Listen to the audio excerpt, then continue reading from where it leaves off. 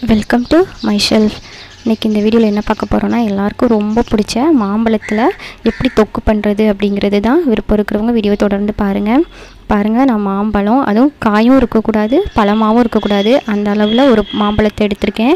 இதை வந்து அரை கிலோ இருக்கும் இந்த பழம்.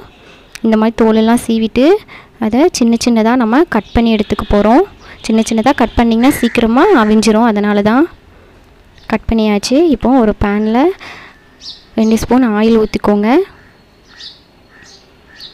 ஆயில் நல்லா சூடாகவும் ரெண்டு ஸ்பூன் வந்து வெந்தயம் ரெண்டு ஸ்பூன் கடுகு உள்ளே சேர்த்துக்கோங்க.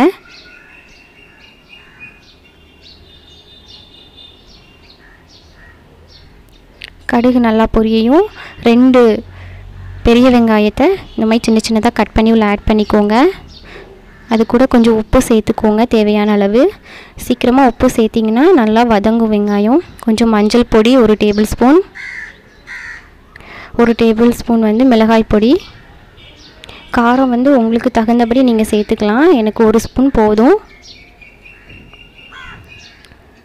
இப்போ இந்த டைமில் வந்து நம்ம மாங்காவை உள்ளே சேர்த்துக்கலாம்.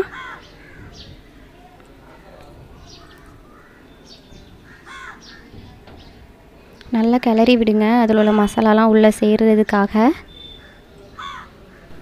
இந்த மாம்பழத்தொக்கு வந்து நீங்கள் ஃப்ரிட்ஜில் ஸ்டோர் பண்ணி யூஸ் பண்ணிக்கலாம்.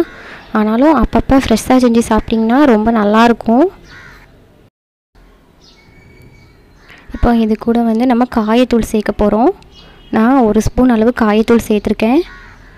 இப்போ அதையும் அது கூட சேர்ந்து நல்லா மிக்ஸ் பண்ணிக்கோங்க.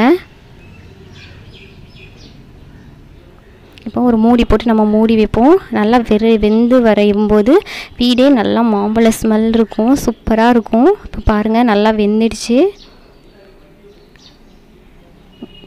பாருங்கள் மாம்பழம் நல்லா வெந்துடுச்சு.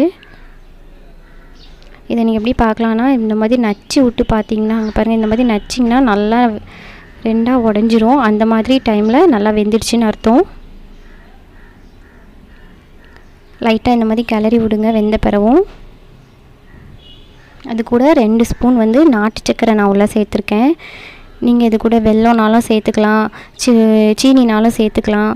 எதுனாலும் ரொம்ப நல்லாயிருக்கும் அது மட்டும் இல்லை சின்ன பிள்ளைங்க வந்து இந்த மாம்பழத்தொக்கை வந்து ரொம்ப விரும்பி சாப்பிடுவாங்க ரொம்ப நல்லாயிருக்கும் சாதத்துக்கெலாம் ரொம்ப சூப்பராக இருக்கும். வேறு எந்த ஒரு காய்கறியும் தேவையே கிடையாது.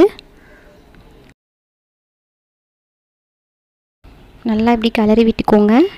அவ்வளோதான் மாம்பழத்துக்கு ரெடி ஆயிடுச்சு பாருங்கள் நான் ஒரு பவுலில் எடுத்திருக்கேன். இதை சும்மா டெக்கரேட் பண்ணுறதுக்காக நான் ரெடி பண்ணுறேன் இந்த வீடியோ உங்களுக்கு பிடிச்சிருந்தா?